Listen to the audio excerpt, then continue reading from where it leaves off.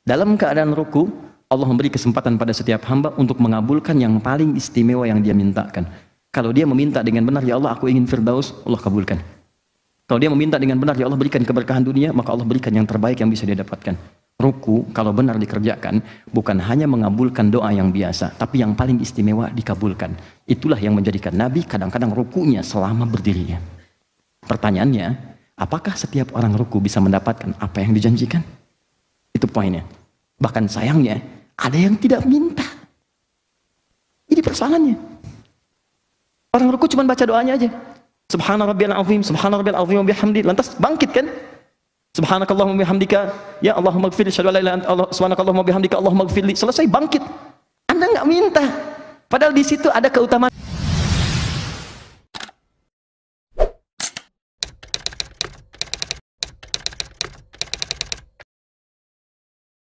Sekarang kita tanya, ya Allah, kalau saya bisa ruku seperti itu, saya pasrah, saya menyembah dengan, dengan baik.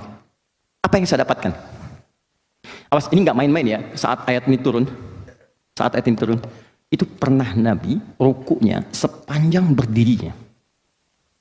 Berdirinya Nabi itu dalam rakaat pertama itu paling minimal, paling minimal itu 100 ayat Al-Baqarah ukurannya. Hey, wow, wow.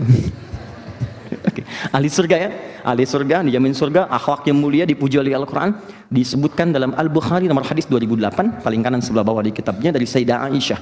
Ya, di ketika tiga orang sahabat, Abdullah bin Mas'ud radhiyallahu taala anhu, kemudian ada Hudzaifah al-Yamani radhiyallahu taala anhu dan Ubay bin Ka'ab radhiyallahu taala anhu, ja'u ila Sayyidati Aisyah, datang kepada Sayyidah Aisyah, bertanya tentang sifat salat Nabi sallallahu alaihi wasallam. Kata Sayyidah Aisyah, ringkas kalimatnya. Allahu akbar. Kata Sayyidah Aisyah, la tas'alu an huslihinna wa tulihinna. Tolonglah jangan ditanya bagus dan panjangnya. Susah diikutin. Susah diikutin. Saya berikan bocoran rakaatnya saja. Tapi kalau mengikutinya susah, penasaran beliau-beliau ini, besok-besoknya ikut sholat di belakang Nabi untuk mendapatkan kekhusyuannya. Jadi kata para ulama boleh sholat tahajud berjamaah kalau ingin mendapatkan nilai kekhusyuan dari imam yang mungkin baik atau mengajarkan misalnya jamaah atau anak bagaimana pentingnya tahajud tentang mengajarkan ini ada di hadis riwayat Abu Daud nomor hadis 1369 riwayat sahabat Ibnu Abbas radhiyallahu taala anhu. Abu Daud 1369 riwayat Ibnu Abbas. Abu Daud nama aslinya adalah Sulaiman dari Sijistan, dikenal dengan Sulaiman As-Sijistani. Hafal 500 ribu hadis dengan sanadnya, dengan matannya. Di orang-orangnya sampai ke Nabi hafal 500 ribu hadis. Ya, sehingga Ibnu Qayyim Al-Jauziyah rahimahullah mengatakan begini, kalau dulu ada Nabi Daud bisa melunakkan besi dengan tangannya, maka ini Abu Daud bisa melunakkan hadis dengan lisannya. Maka sejak saat itu dikenal dengan nama Abu Daud. Oke, okay? Ibnu Abbas meriwayatkan pernah saya tinggal di rumah Sayyidah Maimunah. Sayyidah Maimunah itu di antara istri Nabi yang rumahnya uh, di depan Jabal Kubes. Saya boleh hapus ini? Boleh? Alhamdulillah. Tinggal boleh saja. Alhamdulillah. Semoga Allah ampuni dosa-dosa kita semua. Alhamdulillah. Lihat sini. Ini Jabal Kubes di sebelah sini, ini Istana Raja, ini Zam-Zam sini. Lurus sini, belok ke sebelah kanan, ini pos security-nya. CCTV yang ada ke sini yang warna putih. Kemudian sini ada gate Ismail, di sini kemudian pintu 26. Pintu 27 nah ini. Di sini ada babun Nabi, bab an-Nabi. Di sini ada bab Ali, di sini ada bab Salam. Bab Nabi ini yang sekarang ada jembatan di atas. Teman-teman yang baru umrah, kan ada jembatannya dari dari istana ke sini itu. Nah itu persis di bawahnya itu dulu rumahnya Sayyidah Maimunah. Di situ Nabi pernah sholat dua rakaat sebelum peristiwa Isra Mi'raj. Sholat kemudian baru berangkat. Di situ pula Ibnu Abbas itu pernah tinggal di sini saat Nabi itu bermalam di sini. Ikut tinggal di sini malam-malamnya ngelihat kebiasaan Nabi bangun, bagaimana cara bangunnya. Sampai setelah bangun ikut sholat tahajud, Sholat di belakang Nabi, begitu sholat ditarik oleh Nabi sehingga sapnya sejajar. Berdua sholat. Hadis ini dijadikan dalil oleh teman-teman kebolehan berimam dan makmum berjamaah dengan posisi sejajar. Kalau imamnya satu, makmumnya satu. Jelas ya? Baik, imam satu, makmum satu, posisi boleh sejajar. Itu sah hukumnya. Nah, itu hadisnya sama. Tapi jangan lupa hadis ini pun tentang tahajud berjamaah. Karena Nabi mengajarkan pada anak. Jadi kalau anda ingin memberikan pendidikan pada anak, ayah bangun, ngajak anak tahajud, boleh silakan. Jangan biarkan sendiri-sendiri. Atau yang kedua, untuk mendapatkan kenikmatan sholat. Seperti sahabat bermakmum di belakang Nabi.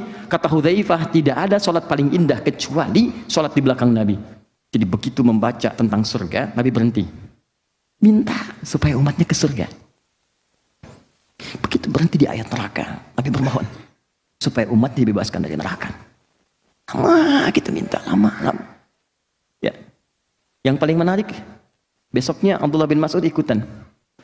Ya. Ternyata tanpa terasa kata Hudzaifah 100 ayat baru ruku. Kata Abdullah bin Mas'ud, saya ikut. Saya kira 100 ayat itu ruku. Ternyata nyambung Al-Baqarah sampai selesai. Saya kira akan ruku, ternyata nyambung Ali Imran 200 ayat sampai tuntas. Saya kira di sini akan ruku, sudah siap-siap, ternyata nyambung An-Nisa 176. 5 juz 4 halaman. Setelah itu baru ruku. Ya, besoknya mereka tidak ikutan lagi. Bukan karena capeknya, kata Abdullah bin Mas'ud, saya ini kan sering nebak, ini di mana posisinya, sehingga bisa saya ikuti. Nah, karena saya khawatir nggak ruku, ini bukan ya, bukan, ini bukan ya, bukan ya. Ya, saya misah aja besoknya. Ya, cuman poinnya yang mau saya sampaikan, pernah Nabi rukunya selama berdiri ya.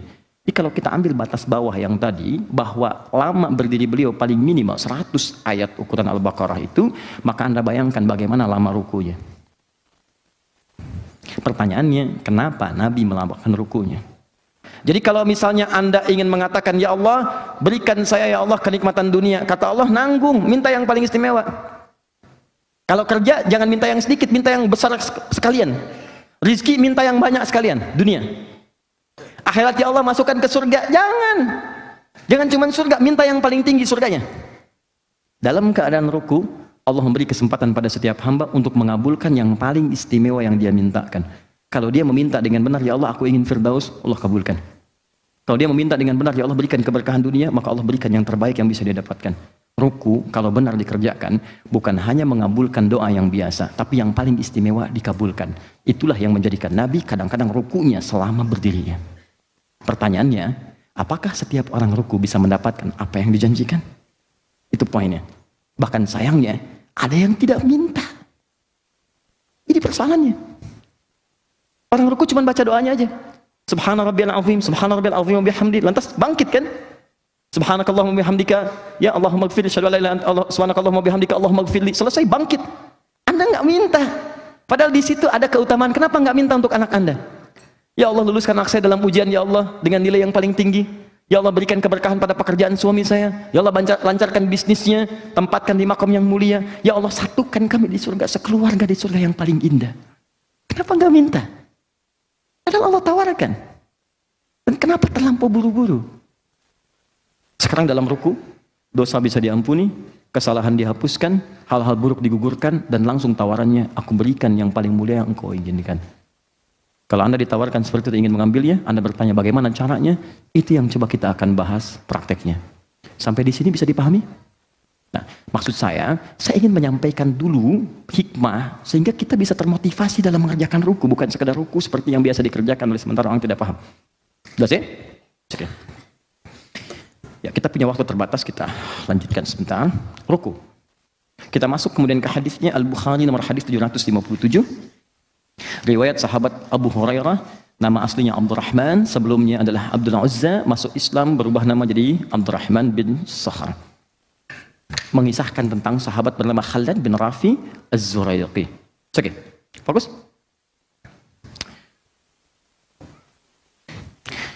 Falyarka. Fala taqum min ruku'ika hatta tatma'inna raqi'an. Nabi mengajarkan kepada Khalid bagaimana cara sholat sampai kepada ruku. Saya potong saja sampai ke redaksi ruku supaya cepat. Kata Nabi kalau sudah selesai dalam berdiri kemudian ruku.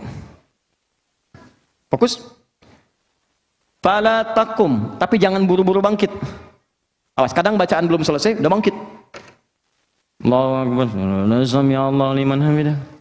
Allahu Akbar, Allahu Akbar, Allahu Akbar, Allahu Akbar. Orang sholat 11 rakaat, satu jam. Dia 23 rakaat, 7 menit.